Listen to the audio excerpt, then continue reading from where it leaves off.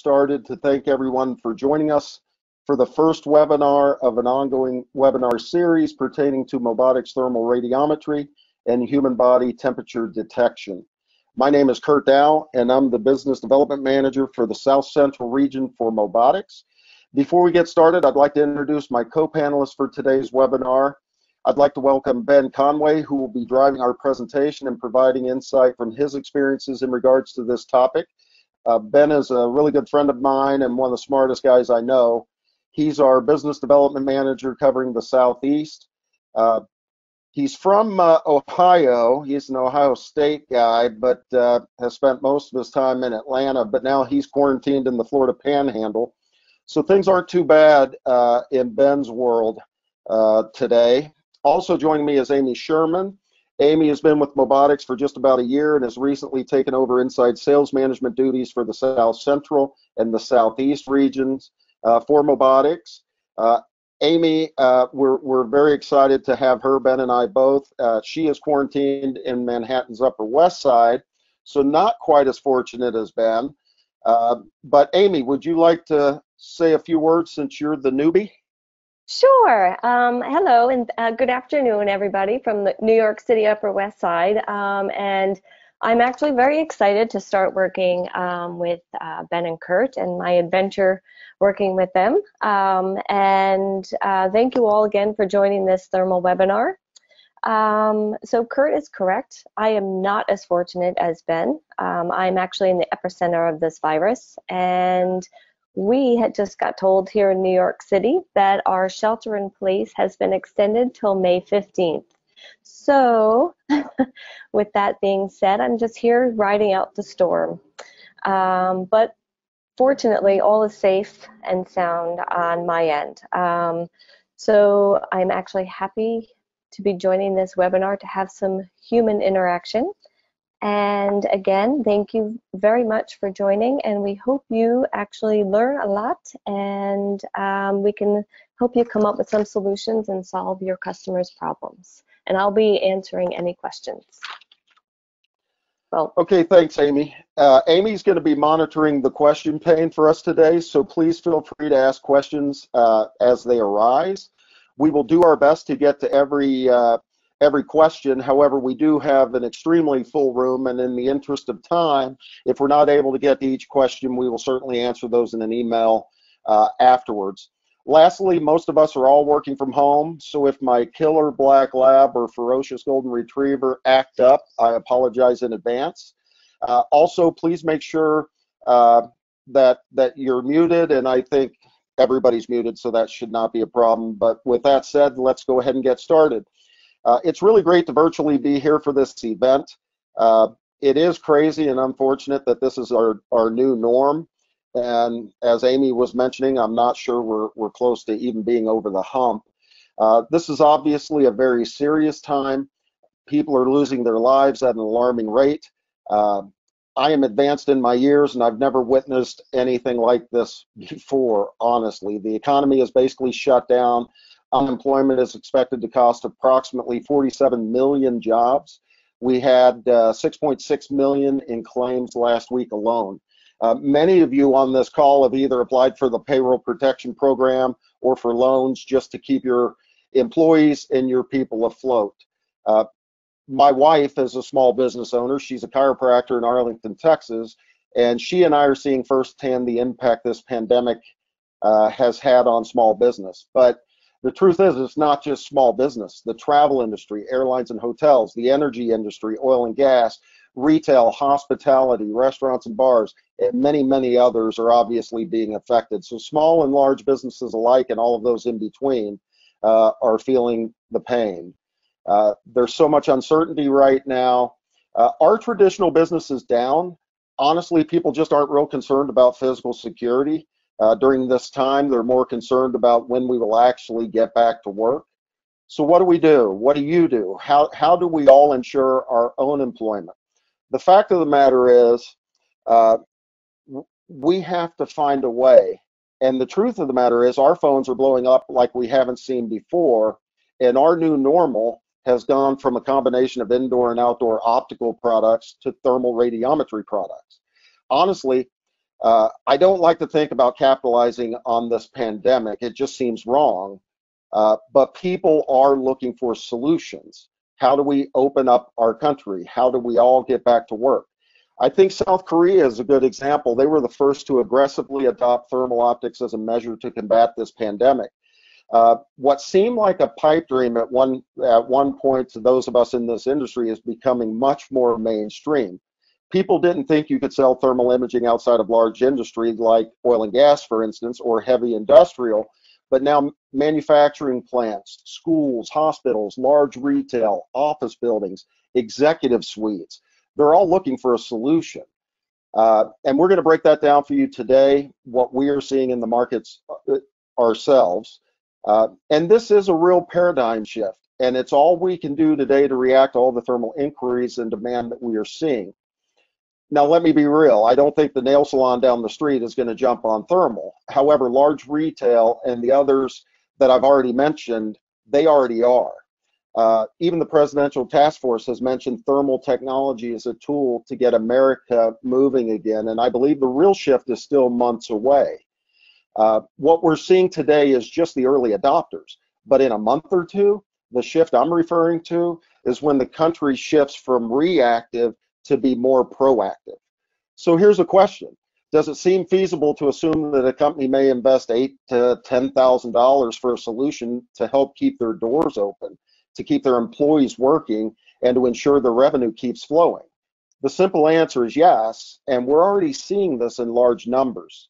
As Mobotix integrators and users, you know that the way to win with Mobotix is solving customer needs, solving their problems, and doing it better than any of the alternatives that are out there on the market. We're going to talk about that today and how to accomplish that. Also, and we don't get to say this often in the world of Mobotix, we're not only the best solution for thermal, but we're also one of the least expensive. For example, I'm aware of a Chinese solution that's approximately $14,000, which includes a thermal camera, a black body radiator, a server, server with facial recognition software, as well as, as well as management software. As you are all aware, we do not need all of those components to accomplish this task with Mobotix. We are the only thermal solution that is an IoT edge device with logic built into the camera, a solid state device that'll last 10 plus years and we can measure temperature in up to 20 distinct areas in a frame. We are definitely the leaders in this regard. So this is the opportunity before us. This is where we need to focus our energy. That's not to say uh, that we will not or cannot sell optical solutions right now because we are. We do have customers moving projects forward, but my message to you is to get as comfortable as you can talking about and selling thermal radiometry.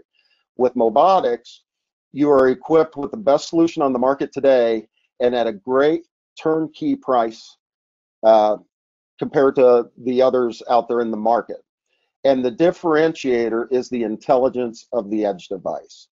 My personal sales funnel has totally flipped from 80% optical, 20% thermal to 80% thermal, 20% optical.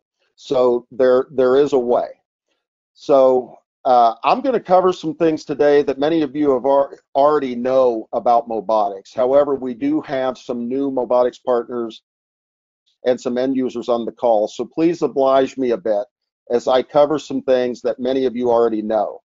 Because the Mobotix DNA, the building blocks of Mobotix, are what makes our thermal special. As many already know, Mobotix is a German company with all R&D, hardware, software, design, development, production and quality assurance done in Langmeil, Germany. Uh, the U.S. headquarters is in New York City, which, as Amy was saying, is, an epicenter of, of, things going on right now surrounding uh, this pandemic. We do have seven sites worldwide. As you can see, all the locations listed here, these are all areas hit hard and affected by the pandemic. We are at the center of it, so it's important to us to provide solutions to get us back to work and get these global economies moving. It's also important to note that Konica Minolta owns a majority of Mobotix. They are obviously a powerful global company, uh, but they're also a true partner of Mobotix. Uh, they're a true partner in software development, hardware, and go-to-market strategy, and you will see many new and innovative things in the future from this partnership. You have heard and will hear us continue to talk about the Mobotix DNA. Mobotix made the first true smart device back in 1999. Think about that. In 1999, Mobotix had the foresight to come out with a product that was a true edge device long before the term IoT ever existed. Our decentralized concept was revolutionary at that time and has proven to be the right move as we are the only IoT edge device, a computer that sits at the edge that you can put any combination of sensors on. Thermal, which is our focus today, optical, illumination, decibel levels, and the list goes on with dual sensors, two-way audio, onboard analytics, integrated storage, lip synchronous audio, moonlight technology, and I could go on and on and feature you to death. The point is that Mobotix is a computer that sits at the edge. We do not need additional hardware and software to make a human body temperature solution work. As a fun note, many of you may know or you may not that Mobotix was the pioneer of, hemispheric technology. Big deal, right? Everybody has it today. Yes, that's correct, but Mobotix was the pioneer and has pioneered over 40 patents, uh, and we are not slowing down. It's also important to note our commitment to be the leader in cybersecurity. Since all R&D and uh, hardware and software development, design and production happen in Germany, we actually control the process from start to finish a main component in our cactus concept is the fact that we are decentralized, meaning processing, analysis, and storage are all carried out on the camera. They are encrypted and controlled by the camera itself. Uh, this offers system-dependent protection against data loss to third parties looking to do bad things. We have developed a unique concept for the reliable and complete protection of end-to-end video systems against hacker attacks. And we are constantly uh, having penetration testing conducted to ensure we are the best in class so you can rest assured you're deploying the most secure system. And I really like this slide because it is really hammering home a couple of points. Not only are we staying current by providing updated security patches, we are doing this for all of our cameras back to 2004, which brings me to the second point on Mobotix durability. We all know this is a solid state device with no moving parts and a mean time between failure of over nine years, but this shows we still have cameras deployed that are over 16 years old. That's pretty cool in my opinion. Uh, again, I said I wasn't going to uh, feature you to death, but a few other key things to know. Uh, we have uh, SIP built into the cameras, microphone speaker, uh, modular designs so you can add a camera to a system at any time without adding additional components. Uh, I've already mentioned the solid state. Uh, low power consumption. We are a very green uh, product. And uh, I've already mentioned the onboard analytics and decentralized. Um, so you all are probably knowledgeable about our accessory boxes, and I'm not going to go through each one of these, but I do want to point out the GPS box because when we are talking about uh, a human body temperature solution, we are recommending you to use the GPS box. It's not just providing GPS location data, it's also a good time server for an overall solution where all cameras can sync to. But the reason it's important here is that it has an external thermometer giving you a true ambient temperature, uh, which will be critical in programming the overall solution. I'd also like to point out that not all thermal sensors are created equal. We use 50 millikelvin sensors as opposed to the 100 millikelvin you see on the right. I believe this slide depicts the difference in detail that you can pick up with the 50 millikelvin over the 100. Uh, and solutions come in, in two flavors uh, with Mobotix. And most of the solutions out there today are opting for the M16, which you see on the left, uh, with a thermal radiometry sensor uh, as well as an optical sensor, so you can see thermal and optical. Uh, we also have this available in our S16, uh, which you see on the right-hand side, which uh, the, the lenses themselves are independent of each other, so it provides a little more flexibility depending on the solution that you want to deploy. So now to the meat of why we are here, uh, human body temperature detection. When set up correctly, we can provide very effective and efficient screenings, a first line of defense. It is obviously non-contact, eh, uh, but proven to be very effective. I'm going to actually steal a little bit of Ben's thunder uh, with an analogy he used with me of TSA screening at the airport. I have a titanium hip because at one point in my career, uh, I was an endurance athlete, proud finisher of the New York City Marathon in 2017, but that's neither here nor there. But if I go through a metal detector, it lights up and sounds all sorts of alarms it does not mean that I have a gun or a weapon and I wish to do anybody harm. It just says you might want to pat this guy down and see what's going on. That's how you need to view the thermal solution. It's a first line of defense. It's not magic, uh, just like a metal detector is not magic. It requires calibration to set emissivity levels, ambient temp levels, add logic, which Ben, you, you, we're going to talk about shortly, but it's the true first line of defense. Uh, so with that, thank you for obliging me with uh, some of the recap. Now I'm going to pass it over to Ben Conway, and he's going to get into a little more detail. Great, Kurt, thank you so much for the intro. And I just like to reiterate and thank everybody uh, on the webinar today Thank you so much for your time. I really appreciate your interest. And I've got to reiterate what Kurt mentioned. What we're seeing today here at Mobotix is really exciting because we've got a solution, I think, that can do a ton of good. It can genuinely help customers and the end user, but we've got a technology that does this in a way that I think is different than just about everyone else out in the market. And when you start to peel back the layers, you can really see that Mobotix stands out as I think really the only solution when we start talking about using thermal technology to allow people to start entering premises safely and get a, an idea if they have an elevated body temperature or not. Uh, there's a lot we can do here. So I'm going to spend a few minutes. I want to show you a few video clips, discuss maybe a little bit of kind of the, the nuts and bolts and the mechanics, how we do it, what we recommend for really optimizing your results. And then hopefully we're going to have some Q&A from uh, some time here at the end to make sure we're really addressing what you may be seeing in the market or maybe some of the concerns you have. But I'm going to start off my portion and just show you this video clip. Those of you that have been in the Mobotix community for a while, you've probably seen this. I think it's a great example to highlight the solution we're talking about today, actually getting a read on surface level skin temperature as someone's walking through an area. And this video, I think, shows us a lot. You see the two guys walking through the hallway here, and um, the let me replay that. The guy on the left, you don't even see his temperature uh, reading whatsoever. The, the guy on the right, you do, just mildly. You see the outline of his face as he walks by, and as you walk, as they walk back the other way, you just see a slight heat signature from the guy on the right. Eh, it's hard to tell here. they have got little thermometers on their chest that are set in Celsius. But one guy, the guy on the left is in 37 degrees Celsius, the guy on the right's at 39. So why is that important? You're only seeing the heat signature from the guy that has a mildly elevated surface temperature.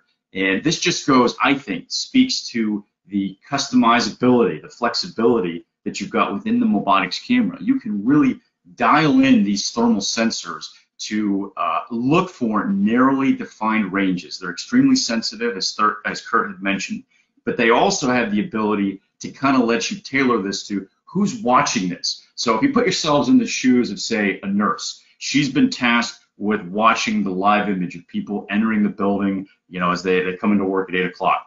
And she's there, it's a long shift. If you're watching uh, this live footage of just countless people walking by and you're watching the entire thermal spectrum you know, that can get pretty tiring on your eyes pretty quickly. What am I looking for? What's a hot spot? What am I concerned with?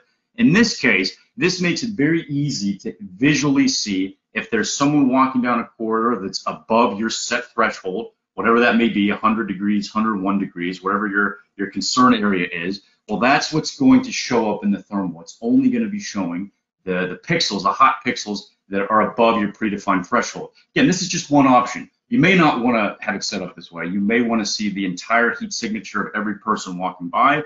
There's a ton of different alerts we can set up, which I'll get into here shortly, that when someone walks by above a, a predefined threshold, we can trigger alerts from phone calls and emails and all sorts of things. But just at a very base level, from a visualization standpoint, you can customize these thermals to do all sorts of things visually. And this is one of my favorite examples showing that it looks like a blue screen, people walking back and forth all day long. I'm only going to get an image uh, showing up on my screen if someone's above my, my uh, concern threshold.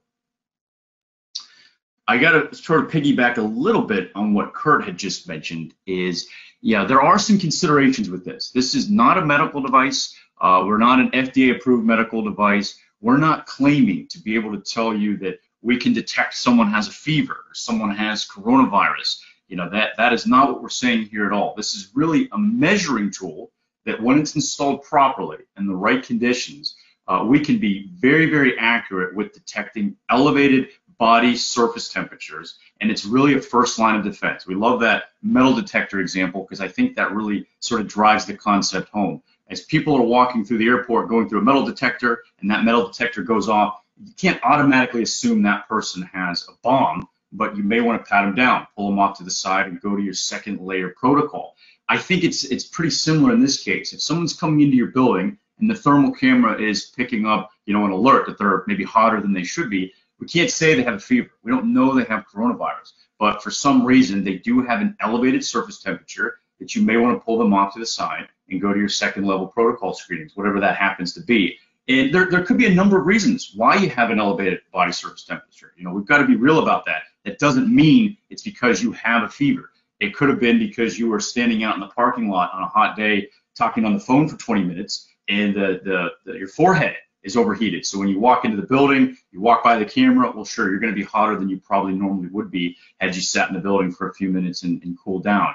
Yeah, I've had some some partners tell me, oh man, we got a false positive because someone walked by the camera and they forgot to take their earbuds out, and the camera picked up the, the elevated heat signature from their earbuds. So we have to be real about this. There are some just true day-to-day uh, considerations, some limitations you have to be aware of.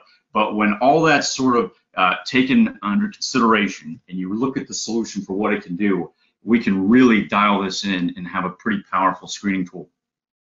A few things I'd say to optimize the results. We get this question every day, and I imagine those of you on the webinar, you're probably wondering this as well. Okay, where do I install it? How do I install it? Uh, what's the, the ideal scenario? We'll, we'll, get into that a little bit more in the nuts and bolts, but a few, a few things to just hit right off out of the gate is this is really going to be ideal in a controlled environment. So when we say that, we're typically meaning indoors, ideally. We want to see the room temperature, the humidity, uh, be pretty stable because all those environmental factors, distance, emissivity, the temperature, the humidity in the room, that can affect uh, the, the, thermal uh, in terms of the heat signature that it's picking up. So the, the more stable, the better. The closer to the target, the better. Most of our results, most of what you're going to see me show you here in a few minutes is showing, you know, sample results and images from usually within 15 feet. You know, six to 10 feet is pretty common. You can get 10 to 12, 15 feet. We've even done tests up to 20 feet. But for my personal comfort level, I like to see this being set up within 15 feet of the person that we're, we're trying to scan. We need to have a clear view of the face as well. So if someone's just passing by quickly and their their head's down and they're looking at their phone, you know, the top of their head doesn't really do us much good. We need to get a clear shot of their face, and ideally, if we can, uh, you see there that the corner of the eye is sort of the the closest that we're going to get to your internal core temperature on the surface of your body. So that's that's really ideal for us. If we can get a full clear shot of your face, capture the corner of your eye, we can really say pretty confidently that the, the surface level temperature the camera's reading is going to be very close to what you have uh, in actuality. So that does present some challenges. You're going to have some people walking by that are wearing glasses. Thermal cannot see through glass. So you're, you're, you're, that's going to be something you have to discuss internally when you set this up. What's my protocol? When people walk up to the camera, do I have a little sticker on the floor that says, please stand here, take off your glasses? You may or may not want to go that far. We can still have really nice accuracy results, getting just a clear shot of your face and your forehead, but it really helps increase the accuracy if we can get a clear, good shot of the eye as well. So these are some things to consider. You also have to calibrate this and set the thermal range of the camera. And I honestly think that is one of the the biggest beneficiaries uh, or benefits that Mobotix offers is we have so much capability within the camera. Again, this is a Linux computer with a thermal lens on it. So when you dial into the camera, there's a lot we can do on board to compensate for atmospheric conditions, humidity, what the temperature is in the room, how far away that person is we're trying to scan their face. Are they six feet away, 10 feet away? We can offset for that within the camera. That's just something that virtually no one else out on the market can do. This is extremely customizable based on the environment and what you're, um, you're installing it in. We do want to jump into this quickly and address this right out of the gate. Uh, what is a black body radiator? We get this question all the time. If you look through a lot of the Mobotix literature, you'll even see our team, we reference black bodies. A lot of the competing solutions on the market, I'm sure many of you have seen, there's a lot of a lot of folks out there that are sort of jumping on the bandwagon with thermal, and when you peel back the layers, just about all of them will tell you you need a black body radiator to have any sort of reliable accuracy. Uh, I would go as far as to say with Mobotix, you would probably be well suited to have a black body radiator if this was in an unstable room environment. So maybe something more outdoors, under an awning. But in the typical applications that I'm seeing, hospitals, schools, medical clinics, government agencies, and we'll get into some of those success stories in a bit. But in those typical environments, we're talking about having the camera mounted indoors, typically away from you know your lobby doors that may let in you know gusts of hot air, typically situated away from a big HVAC vent that may be blowing in your AC, but a hallway, a choke point, somewhere behind an admission desk, somewhere where it's a relatively controlled environment, Mobotix can be extremely accurate without a black body radiator. And I think that's huge. That's one of the biggest differentiators when you look at Mobotix. If you take anything away from today, I'd like to leave you with that is installed properly in the right environments. We don't need a black body. Our thermal is sensitive enough. Our camera has enough calibration uh, settings and customizable settings within the camera where you can hone this in without using a black body. So I'll back up a minute. What is a black body?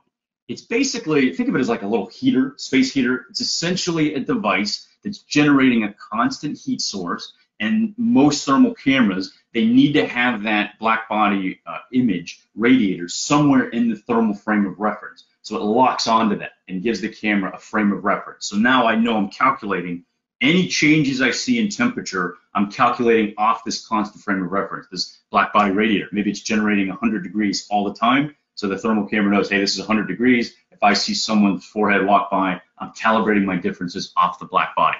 So again, it's great. It can improve accuracy. We ourselves have tested quite a few of them, and we tell you, sure, the, the black bodies are a nice tool to have. But again, in an unstable environment where the, the temperature is not controlled, sure, black body is a good idea. In an indoor environment, uh, we're having great accuracy, and one of the few that can say we can be within about half a degree, roughly speaking, of accuracy without a black body degree. And there's really no one out in the market that can say that uh, to my knowledge. Distance, again, we covered this. I'll just show briefly. Uh, we've got several different thermal angle image uh, lenses. For our purposes today, we're really going to be discussing a 45 degree and a 25 degree uh, thermal uh, lens. And you'll see here, you start getting a little more divergence in accuracy the further you are away from the target. So for our purposes, we really like to be within 15 feet, as I mentioned earlier. That's really the ideal scenario for this. So a couple things. Exa example scenario. You're going to mount the camera. You're going to set this up. We're doing proof of concepts all around the world, and this is pretty pretty regularly how they go. We get the camera on site. We may connect it to the network. We may set a standalone network. And that's a big differentiator as well, because depending on who we're talking to, you're going to have some some pushback potentially from their IT team. We've seen it quite a bit. You know, we've never heard of Mobotix. How do we know? I know you say you're cyber secure and you're you're hardened. How do we know that you're not phoning home? We have back doors to some other countries. We're not going to allow you on our network. You know, some of these agencies we talk to, that's pretty much verbatim what they tell us. So our stance on that is no problem. We're going to set this aside, set this up as a standalone rapid deployment option. So we'll mount the camera, maybe on a wall, maybe on a mobile cart. Uh, we'll, we'll connect, we'll bring our own PoE switch in, we'll load, we'll bring our own laptop, we'll load our free VMS or included VMS software on this. Totally standalone solution. Mobile rapid deployment. All the analytics, all the triggering, all the intelligence is done on board in the camera. We don't need to tie into your central VMS. Now down the road, once the crisis is over, and you guys say, hey, we, we really like this solution, this is going to become standard operating procedures for business moving forward. Well, sure, maybe then you do a little more homework. Vet Mobotix, really put us to the test and make sure that our security claims add up with what your your uh, IT team expects. And then at that point, sure, tie Mobotix into your VMS, tie it into your Genetec system, your milestone system. But the idea here is we can really provide provide you both options depending on who your customer is. Bring it in, tie it into your VMS today, or be a totally separate standalone operation with very little hardware because again, the intelligence and the alerting and the analytics are all on board in the camera. So that's a long way of saying we'll set it up based on what the site requirements are.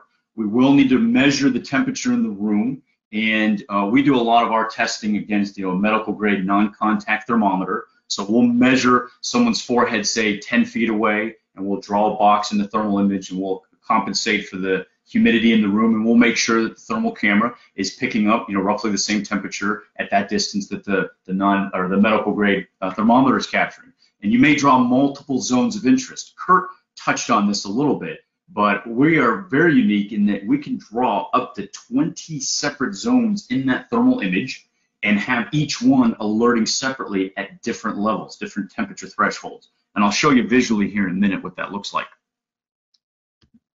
This video is just a quick uh, sort of a recap of what I mentioned earlier, just showing how the thermal can, can be designed to alert and show a, a, an image based on a heat source or a heat signature you're worried about. In this case, you see a bucket of water passing by. It's over 50 degrees Celsius. That's all you see really is the outline of the water. You don't see the guy's body or anything else because again, he's way below that threshold of 50 degrees Celsius. So that's an example sort of like I already showed you. Um, I've got a few more video clips that I want to show that show different different scenarios how the thermal can be programmed. This I like to just touch on briefly because I think it's an important differentiator. When we're setting this thermal up, it's an extremely sensitive thermal lens. It can detect temperature, read the, the spectrum, the heat spectrum, if you will, from negative 40 degrees Fahrenheit all the way to 1022 degrees Fahrenheit, everything in between. So you're talking about minor temperature differences within that range when we're talking, and that, that traditionally would be great for a lot of the applications where we've used thermal in the past. Manufacturing, we're, we're watching something on a, a machine floor with ball bearings and processes coming out of dryers and heaters. Know, a lot of variation in what those temperature thresholds will be. For this application, where we're trying to keep an eye on surface temperature of a human, that's a much more narrowly defined range. You know, maybe on the low end 95 degrees up to 105, somewhere in there, roughly 10, 12 degrees Fahrenheit. So we can program the thermal and say, look for range heat signatures only in this range. So really what you're doing there is you're allowing the, the full power of the thermal sensor to really just focus and scan heat signatures within a narrowly defined range. So the idea here is really helping increase accuracy. I'm not worried about temperatures that are negative 30 or 500 degrees. I'm really worried about, you know, 95 to 105 in that range and minor differences, minor changes uh, in pixels basically is what the thermal's uh, looking for. I like to show this example. This is from one of our really good partners in Europe they have this solution set up that shows the thermal camera with the optical overlay. So in this case, it looks like you're just looking at one optical image, but there's actually a thermal image on this choke point, but you don't even see that. It's set up in an overlay mode. So it's only going to overlay the thermal image when somebody walks through at a set temperature or above. So if we just watch this for a few seconds, you see several guys walk through the hallway. And then when the third guy walks through, You'll see there, the, the camera alerts, picks it up, and it's hard to tell the outline, but you see he's got an elevated surface temperature right down here in his you know neck throat region, and so that's what the thermal camera is overlaying. So the idea here is let's customize the image. In a lot of applications, people love the side-by-side -side optical thermal view. In other cases, they don't want to look at a thermal image all day long. They just want to see an optical video feed, but then overlay that thermal image when someone walks through above or below a certain threshold. So I think that's a great example of showing that uh, in the real world. Another area that, that we we get questions on is, okay, what about privacy? You know, I, I don't know if I'm really comfortable with having my employees coming through and I'm storing video of them, you know, alerting or not alerting for certain temperatures, I don't really necessarily want to see the optical image of them. I don't want to store that. So no problem. You can certainly do a Mobotix camera without an optical lens, and you just could have a thermal lens here. And so this is a good example from our friends here at Electronic Medical Solutions. And you see here that these two folks walking down um, a queue and the lady here on the right, she's a little bit above on her forehead. She's above the, the threshold. You see the crosshairs there. That is determining the hottest pixel in the image. See, it's right there. It looks like the corner of her eye. And then you see the red frame. So that's a sample alert. People are walking through an area, picks up a, an elevated surface temperature. Now, what do you want the camera to do about that? All the if this, then that logic that Mobotix is famous for now will kick into action. Traditionally, that could be, you know, video motion. If I see movement after hours, or if I, uh, you know, have a loud noise decibel reader in the camera.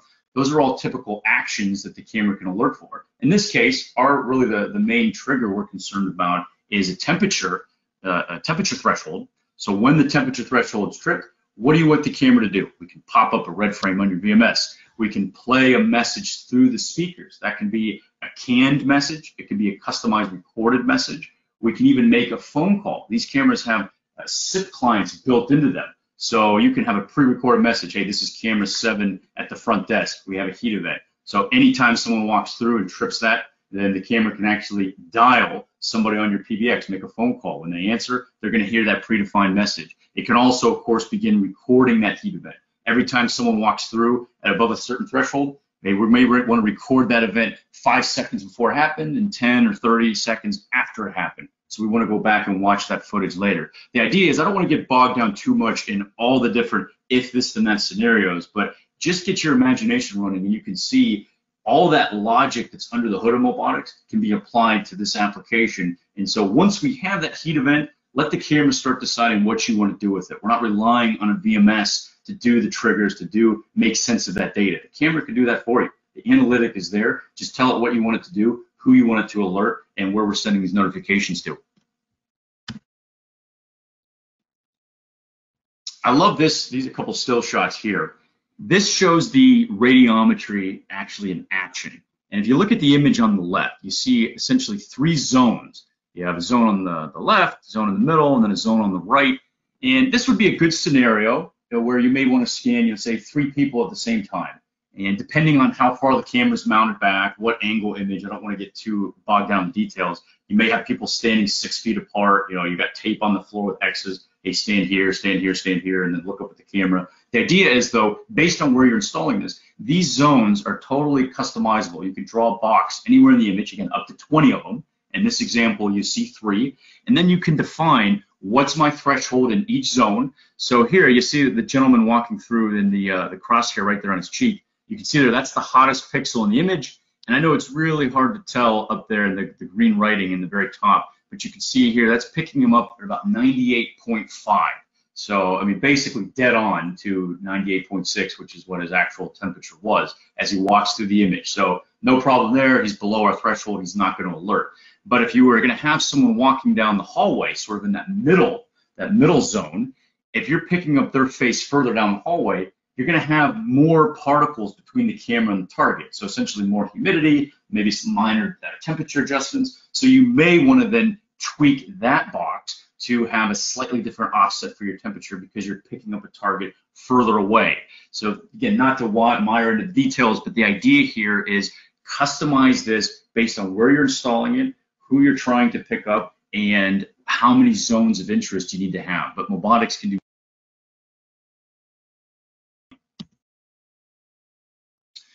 This is the, the next important question because we get this pretty regularly. Okay, this looks great. We're, we we like the thermal, we like the, the analytics, the alerting. How accurate can this really be? And this is, again, based on our own internal findings. This is done by, obviously, people that know Mobotix well. We know how to program our own cameras. We're in a stable environment. These were some sample tests that were done in our New York office, so controlled room environment.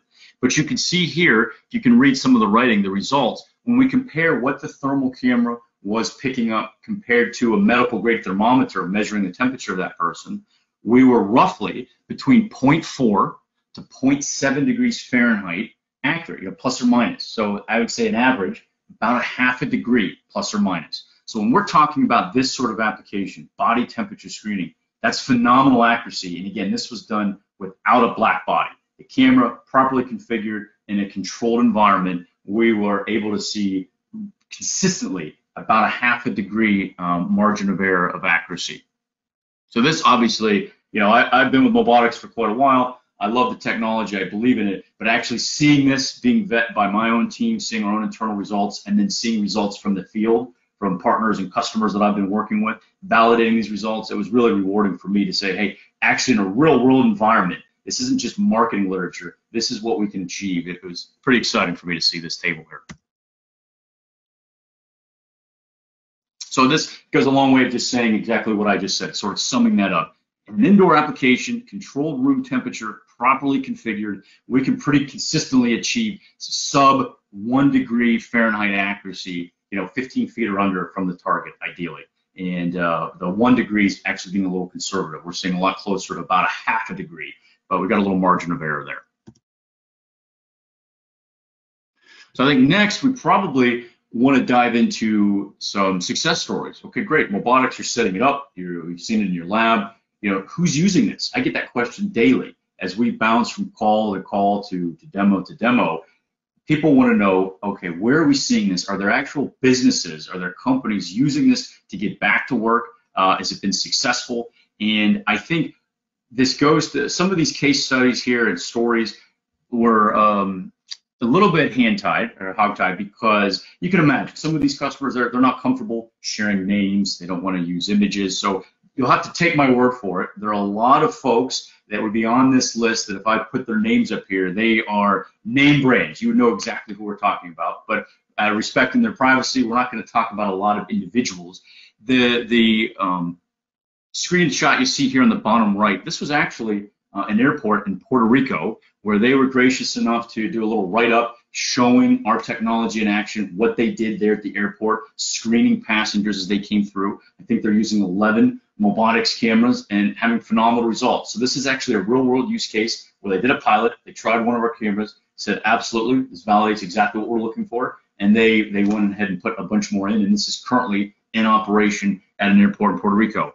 Another screenshot here, just quickly, the, the guy you see, um, it's hard to really tell, I know, but in the corner of the image, sort of to the top left of his hard hat, you'll see a Mobotix M16 there in the corner, screening him before he comes into work. This is actually a real world use case. So the idea here is airports, hospitals, medical clinics, schools, manufacturing plants. I've personally been involved in some some large projects in my region in the southeast with uh, some names that I had only ever read about before, and now we're talking to them, helping them evaluate the solution, test it, vet it, make sure it works, and you know it's obviously leading to successful implementation. So I just wanted to highlight that, but I'd like to get bring Kurt back in to, to weigh on this a little bit more.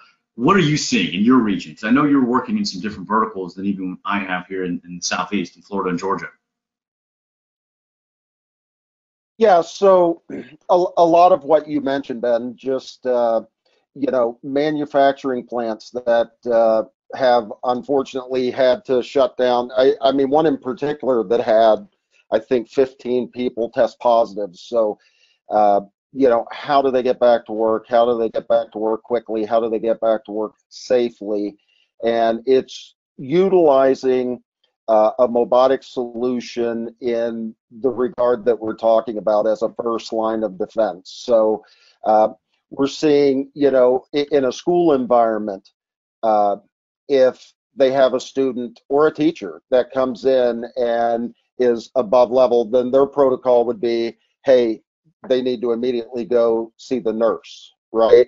We have other companies uh, in uh, manufacturing, heavy industrial, that they have actually hired nurses uh, that are there on call. So if somebody screens too high, uh, they, you know, the protocol is they got to go to the nurse. And again, some of them using uh, actual thermometer might uh, test out okay, right? And you, you go to work. But uh, the ones that that don't, they're they're turned away. So uh, really, we're seeing this all over the board. Large retail, uh, people trying to gear up for, uh, you know, the economy and businesses opening opening back up.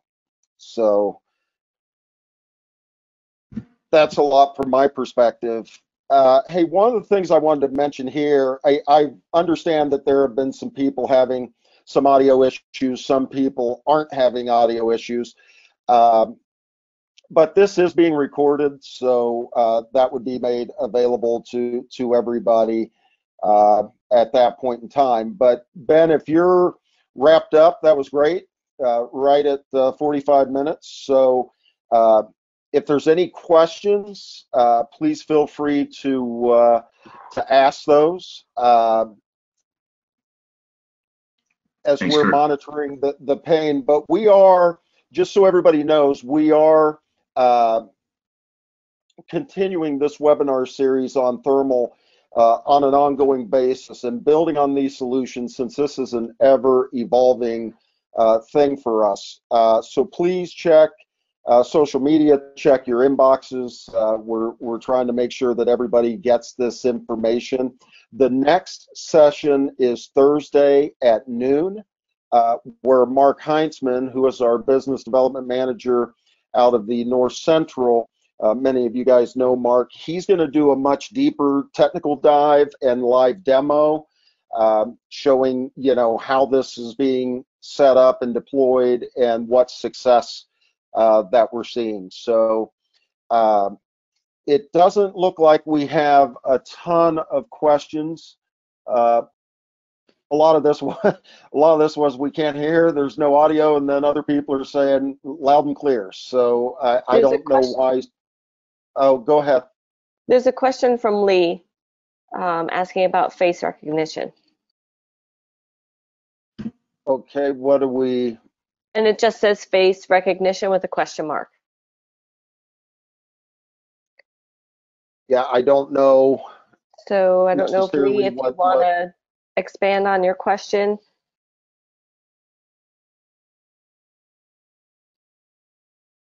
So uh, we'll wait to see if he expands on his question. Um, yeah, we do not need, I, I can say this, we do not need facial recognition software for the application that we're talking about. Some, uh, some of the competitors out there require it, but because of what we've just been talking about, the Mobotix DNA, the fact that we're a, a you know solid state uh, computer that sits at the edge, we we don't need that additional software in order to uh, uh, achieve what we are what we are doing. Curtis, I'm looking through the questions. I see several coming in. Again, everybody, really appreciate this. Appreciate your interaction keep them coming. We've still got a few more minutes here before we wrap up. But a, a good question from Kat.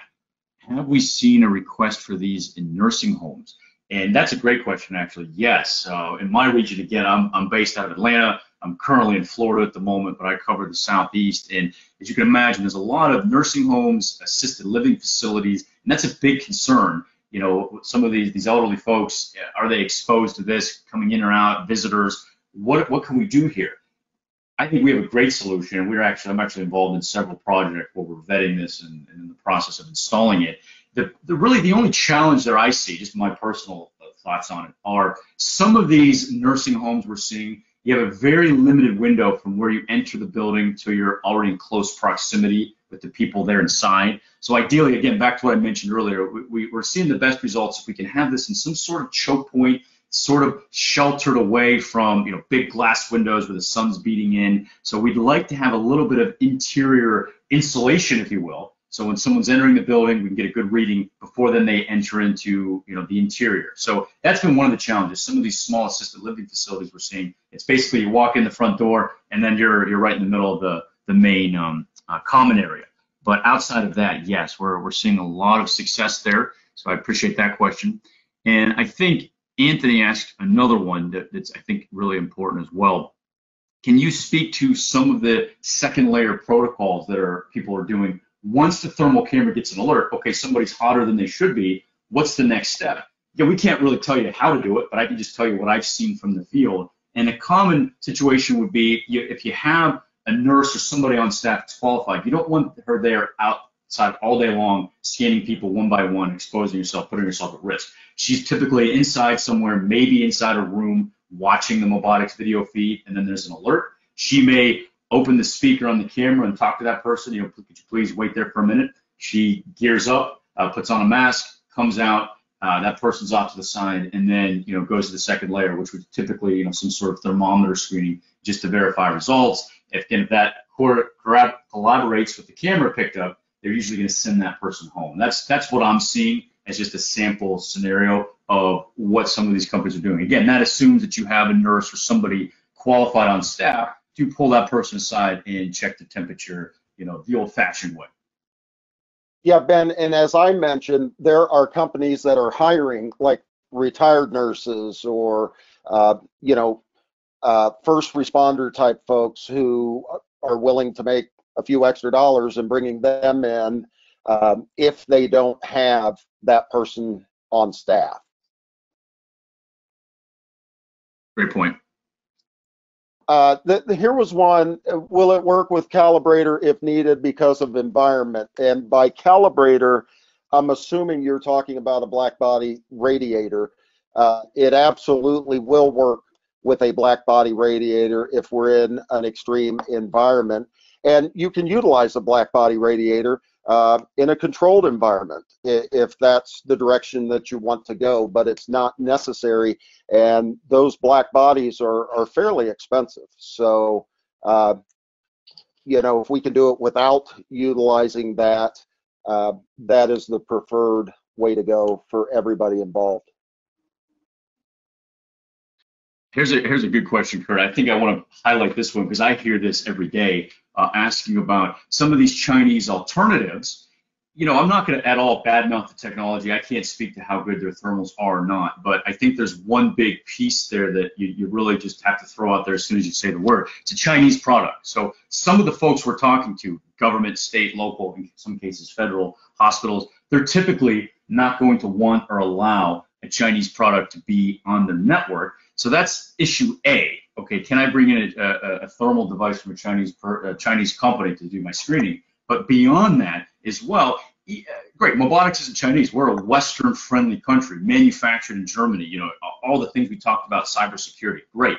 But you still may not know us from Adam. You still may not trust Mobotix any more than you do a Chinese product. But again, that's the differentiator. No problem. You don't have to then go out and invest in a VMS and all these other pieces, black body radiators to set this up. Just go ahead, put us in a lobby, your standard standalone application, a switch, maybe a cart, TV monitor, view our software, run the camera there. We don't have to tie into your network. So I just have to hit that point at home again because that's been really key for us in some of the conversations we're having high level with some of these organizations. Uh, yeah, how are you different than the Chinese products? Are great, but how would I allow you to do this as sort of a temporary screening solution without giving you access to my network before we fully vet you. So I think we're really kind of hitting two major concerns there on that one point.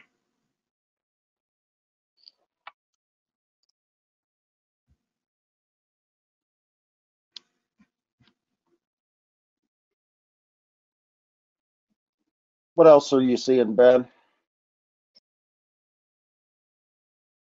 All right, so I've got some good questions here. Um, besides real-time monitoring, is there any integration to access control to restrict badge access if a temperature level uh, is elevated?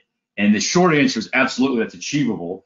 Out of the box, you know, there's going to be some certain access control uh, devices that, that we Mobotix does integrate with natively. We also have a very feature-rich API. So we need to, without just saying a blanket yes to that, we need to dig down a little bit more into who you're using or what you want to propose, how the network's configured. But short answer is yes, that can absolutely be done.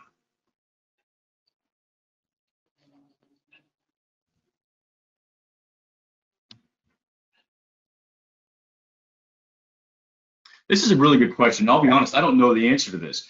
Does the, the person monitoring does it have to be a healthcare provider or could any layperson with medical training?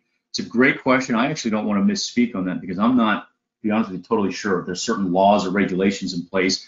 My understanding, and some of the folks I've talked to, they are just doing somebody they've trained. They they have a, a quality thermometer that they went out and purchased. they've had this person trained up on how to use it, and when someone walks through, it's just to be a plant supervisor manager, whoever, they are doing the screening. Now, whether that's any sort of violation of certain laws, I, I probably need to get a little more educated on that, but that's a great question. Yeah, and I would say, Ben, really that's up to the company because I could see a situation where, you know, let's say you have a company with 30 employees and they decide they want to they want to do this. Uh, you know, at that point in time, uh, what I'm seeing is they're leaving that up to HR, right? So if somebody if somebody screens uh, that they could potentially uh, or that they have an elevated body temperature, then that's where they get HR involved. They're not using a quote medical professional. Kurt, here's a great point slash question from Harvey. He says if a worker arrives asymptomatic, uh, they may pass the test. But during the workday, they may start developing some sort of symptoms. The Mobotix being a continued, continual detection is a better option than simply just using a thermometer to test upon entry at the beginning of the day. I think that's a great point. Sure, you may feel great, be normal as you show up to work, but as the day goes on, things may change. You know, you may start having an elevated surface temperature. You may want to have folks potentially have a protocol set up where maybe at lunch you go out for lunch break and you get rescanned by the camera, re-entry, and maybe do that again at the end of the day. But I think that's a good point. You can really do this as often or as much as you need to, and you really reduce the workload on an individual standing there at a building. I think a good example, I talked to someone at a processing plant, food processing plant, and they have hundreds of workers coming in for three different shifts a day. And there, it's a major backlog. When everyone shows up to work for the first shift, they've got two nurses out there scanning two people at a time as they come into the work. And it's very taxing. It's expensive. It's taking forever. Long lines for workers just to get into work. You got to do the same thing for the second shift. Same thing for the third shift. So you can maybe put two or three Mobotix cameras at different entry points in your building, really automate that process, and you go down to just a single nurse or a single scanner as your backup for when somebody alerts or flags the temperature threshold, then bring them out and give that person a second look, but not standing there in harm's way all day long doing the screening themselves. So Harvey, thank you for that. That's a good point. Yeah, Ben, here's one. Has there been any instances where someone has been turned back from entering a facility and then that has evolved into some type of litigation? Uh, the the quick and simple answer is no. I'm not aware of any. Now, I mean, it's not saying that that can't happen, but Ben, have you heard of anything in that regard? I have not. No one that I'm aware of has has told me anything about that. But it's it's a good point to think about. But I, I'm not aware of that. Here's a good question from David. Uh, how large of a group can we effectively monitor and detect? And let me go back really quick, if you'll bear with me, to that slide I showed earlier. I think this maybe gives us a little bit of a good visual. So here's a sample scenario where we set up, you know, in a hallway. You see three zones. So theoretically, in this this environment, we'd be able to scan about three people at the same time coming through. You know, uh, bear, pretend for a minute that hallway wall you see on the right is not there, a little wider hallway we could have three people coming through. Now, we also ideally want to have, you know, the thermal camera is about nine frames a second. So we need to have about a second uh, of the front of their face, as I mentioned earlier, kind of forehead, corner of the eye, clear shot of the face, about a second. So it doesn't mean you have to just stand there and look up at the camera and, you know, you know, count one Mississippi, two. It's not like that. But you also don't want to just be breezing by it, looking sideways, looking down, and get a glancing shot of their face. So it, it, ideally is suited to some sort of checkpoint or hallway, uh, choke point, I should say, hallway where someone's coming to the camera head on, mounted, you know, about eye level and within 15 feet. And then that also depends on how wide is that choke point, what angle of lens. You're going to get a much wider field of view with a 45 degree lens than you will with a 25 degree lens. However, the 25 degree lens can give you maybe a little better accuracy, you know, beyond that 12 to 15 foot range. So it's it's a really hard thing to say we can scan 10 people at once. It, it's going to depend on how far they are from the camera, how wide your area is of your viewing area, and then how close we're mounting the camera to those folks and dial it in. But I would say, roughly speaking, I'm seeing typically three to four people scanned at a single time entering a building. That's pretty commonly what, what we're doing in a lot of the projects I'm involved with. Yeah, and Ben, I uh, it was pointed out to me by Simone that I misspoke, which can happen from time to time. Uh, I said our next uh, webinar was next Thursday. Um, I, I was incorrect on that. It is actually uh, next Tuesday. Uh, so it, it, what day is it anyway, right? I mean, I, I don't know if y'all are in the same boat I am. It's uh, kind of tough to keep up uh, with all of this. So uh, But one, one- if you don't mind, Kurt, let me interrupt on that. Just to, to tee that up, that's going to be hosted by our colleague Mark Heinzman. He's actually a lot more technical than Kurt or I are. So for our purposes today, we basically read you a bunch of slides off a slide deck. Mark's actually going to be digging into this a little bit even beyond that. You know, actually showing you the solution live, showing you a mobile cart solution he's mocked up at his home. You know, if you want to get into the nitty or gritty details technically, I think that webinar is going to be great for that purpose because you know, full disclosure, uh, these cameras they, they require some calibration, but it's nothing to be super intimidated by because if guys like Kurt and I can learn how to program these things and offset for temperature variances, uh, you can do it as well. So I think Mark's presentation is geared more to the nuts and bolts. Actually, okay, you bought into the solution, you like it. Let's get this thing set up and configured. So that's going to be our, our next webinar for next week. well, Ben, I got to tell you, you hurt my feelings. Um, Hey, uh, we are we are past an hour. I apologize. Uh, I I think we got to most all the questions. The ones uh, that we didn't answer, we will certainly get you an answer. But to wrap up, again, next Tuesday will be that deep dive. Uh, I want you to know we're here to help. Uh, so please get your BDMs involved. Um, no matter if you're in in you know Canada, the U.S., Latin America. Get us involved. We'd love to help you. Uh, you know, get to the to the end users and and get uh, get business done. So we're here to help you. Please use us. Thank you everybody for joining us today, Um and we look forward to uh, to working with you closely and getting some uh, thermal radiometry sold and and getting all of our countries back to work. So. Thank you very much. We will talk to you soon. yes, thank you, everybody. Thank you.